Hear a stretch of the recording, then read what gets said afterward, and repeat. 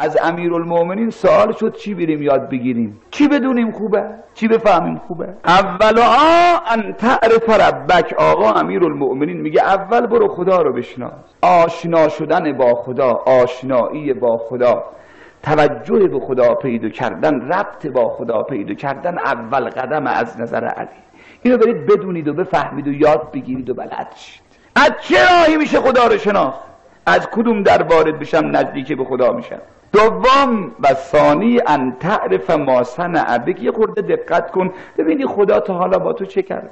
چی بودی؟ چه کرده تا حالا با تو؟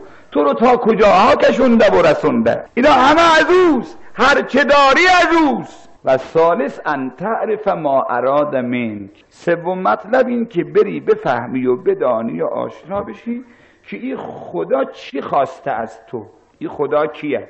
چه کار کرده با تو؟ حالا چی می‌خواد از تو؟ واقعا ما رو آورده تو دنیا. یه مدتی ما شیر بخوریم و یه مدتی بازی کنیم و یه مدتی شهوت رانی کنیم و یه مدتی هم دنبال کسب و کار بریم نون پیدا کنیم غذایی درست کنیم بخوریم و بخوابیم و بمیریم. همین.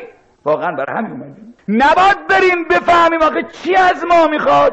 این همه نعمت در اختیار ما گذاشته. آخه در مقابل چی از ما خواسته؟ و رابع ان تعرف ما یخرج که من دینک. چهارم مطلب این که بری بفهمی و بدانی چه کار بکنی از دین خارج میشی.